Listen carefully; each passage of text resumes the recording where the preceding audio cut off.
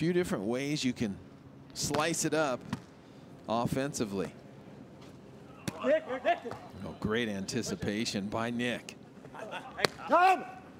Quick check down, but Miles tries to get a hand on it. Yeah, that was a nice move by Miles in the backcourt. It was his power hand, his left hand, but for some reason he did not control it, but he made the right move. Check this out. Here's the, take a look. Nick puts it down the line. Partain is there. He just has to complete the play. and bet he would love to have that one back.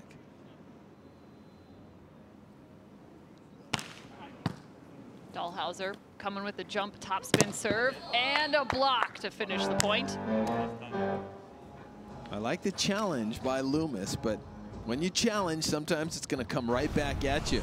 Phil Dalhausser, known around the world as one of the best blockers of all time.